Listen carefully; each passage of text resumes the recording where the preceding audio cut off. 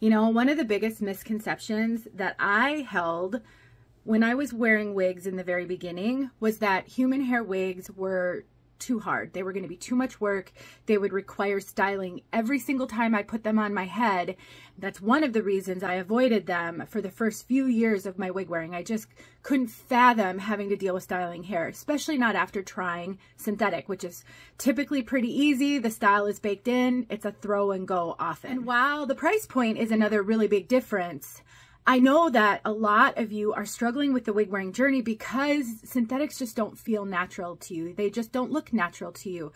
And all of us every single one of us has different perce perceptions about things in life.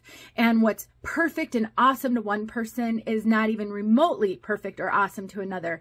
And wig wearing is no different. You know, we all have different likes, dislikes, preferences. What looks awesome to one of us doesn't With to another. Hair wig wearing, I think one of the biggest misconceptions is that it's hard. It's a lot of work.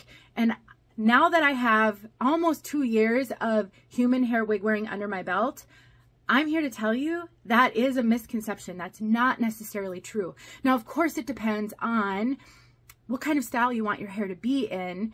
If you want a super kind of curly human hair wig, but you're not purchasing a curly one, then yes, that will take Curls more do work. fall out. And so unless you're comfortable with a really beautiful wave, which will hold probably in between washings, as long as you are caring for it and storing it properly, then I recommend you think about getting a wavy piece.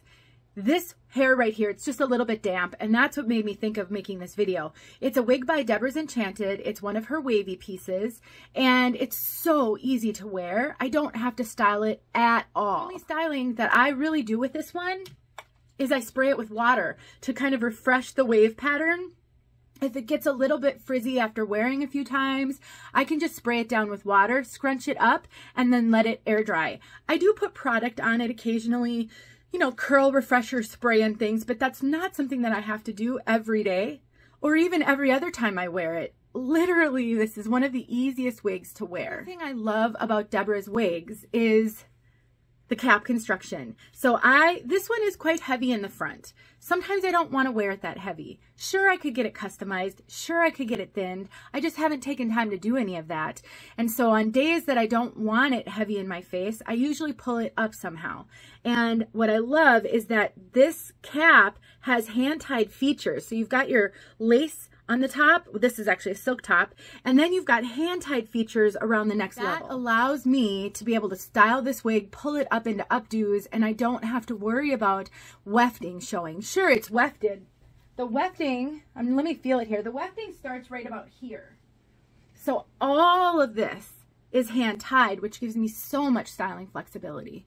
So if you're new to wig wearing and you're trying to decide, do I buy synthetic? Do I buy human hair? What's easier? What's harder? It really depends, but human hair isn't as hard as people think.